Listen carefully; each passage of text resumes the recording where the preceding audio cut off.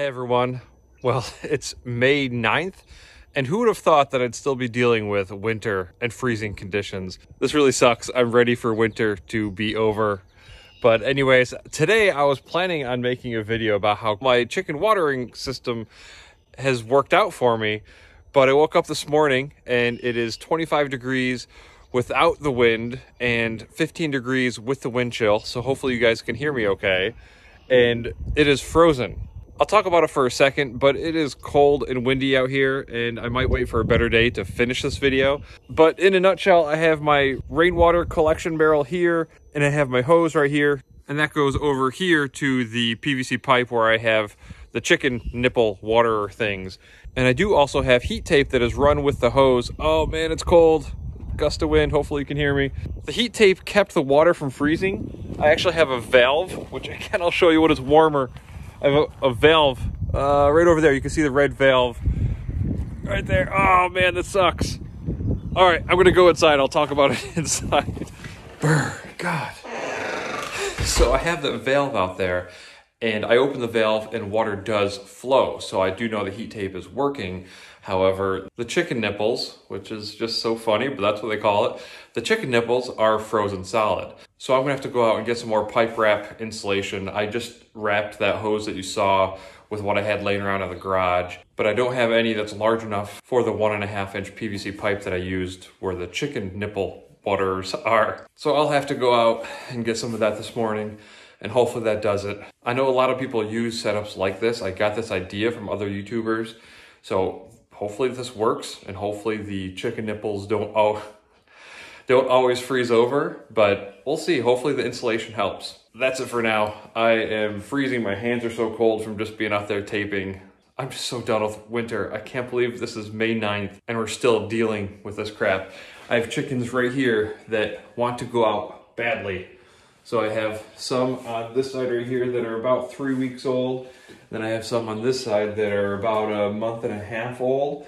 And I have a little divider that I made right here so they can see each other. I just put them together yesterday, or maybe two days ago for the first time. Uh, so at least now they can see each other, hopefully get used to each other, even though they're different ages. They're dying to get outside, and this winter needs to end.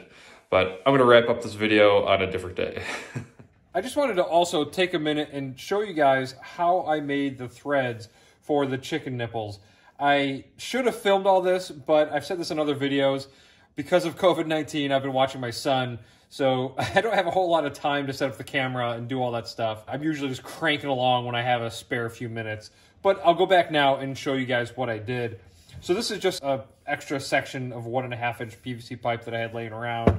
And the chicken nipples are 10 by 1. And what this is is just a, a thread checker that I had laying around. I bought this on Amazon. I used this to check the threads on the chicken nipples.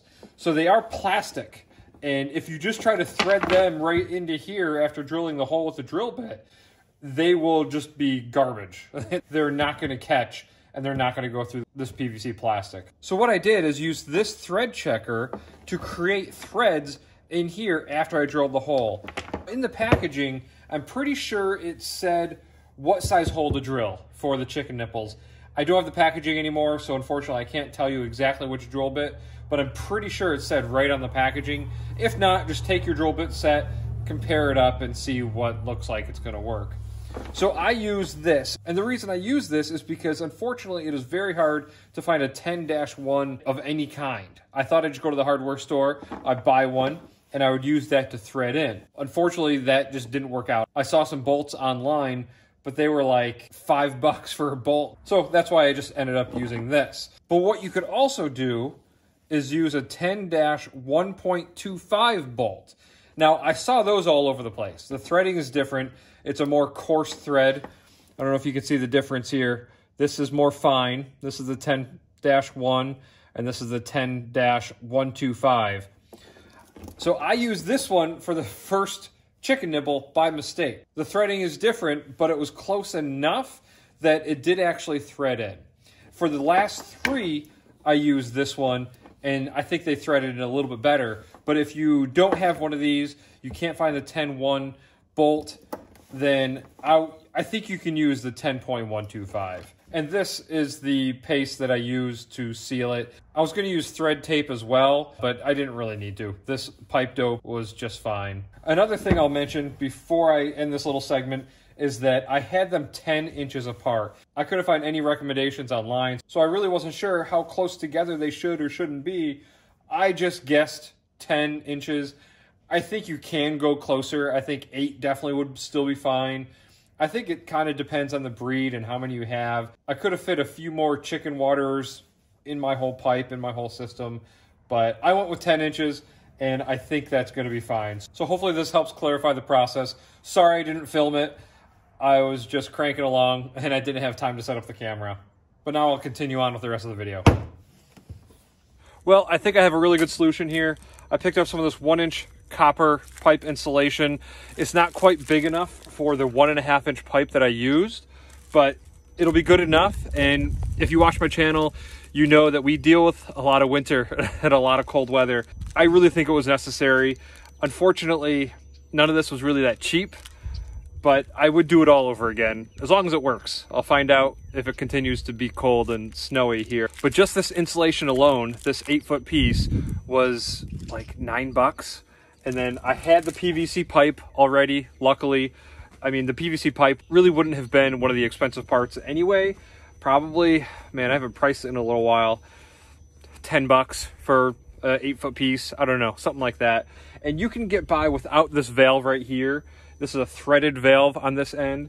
I wanted this here just in case I ever wanted to bring water somewhere else. It's also nice because I can just turn this and I can fill any water I have over here. So I imagine in the winter, I'm probably gonna have to keep some water inside the coop for them. And it'll be nice that I can just fill it right here. The chicken nipples.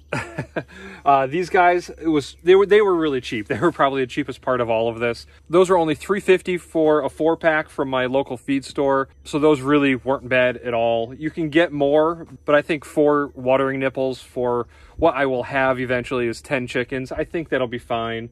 Uh, looks like they're dripping a little bit. They've actually have been great. I've read a lot of reviews of people complain that they drip, but whatever, it doesn't really bother me because it's all free water. It's rainwater from the barrel I showed you before. I do hope they stop dripping though. I worry though, though because these were frozen solid and I did just have to poke them to get them through this insulation. Oh, the insulation, by the way, because it wasn't big enough to go all the way around, I just put it on the bottom side here, and that's where the tape is anyway. So the tape is just actually going back and forth around the chicken nipples, the chicken watering nipple thingies. Uh, so yeah, that's going to trap the heat in there. Hopefully keep these guys from freezing up. Oh, and I want to talk about height because I really wasn't sure how high to mount this. And I was doing some searching online and nothing was really super clear. Uh, but one person said that it should be tall enough that the chicken has to stretch to reach to it. So it could be a little different based on the breed that you have. But my Bielefelders, if I'm saying that right.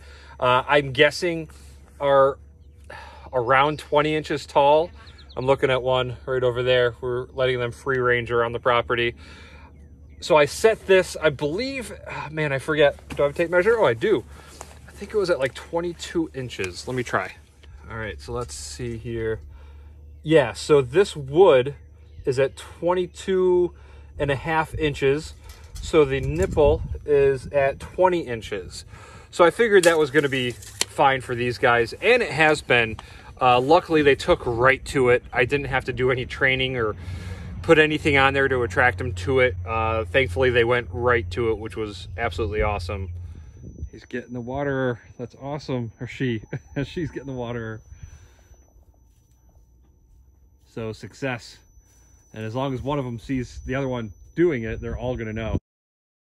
Problem solved. But I think this watering system is going to be awesome. It's going to make it so much easier uh, for me to handle and deal with. I mean, the last thing anybody really wants is to create more work for themselves. But I think this is going to be good and help alleviate some of the work I'll have to do later. Quick update, and then I'll let you guys go. But these don't seem to be leaking anymore. There's a little water on this one. That's only because I just touched it but I don't really have a problem with these leaking like some people have claimed. They seem really good. I just thought I would update you guys, let you know it's not really a constant problem that these things drip because they, they usually don't unless you touch them. And in that last clip I just installed this insulation. So that's, I think, the only reason why they were dripping a little bit.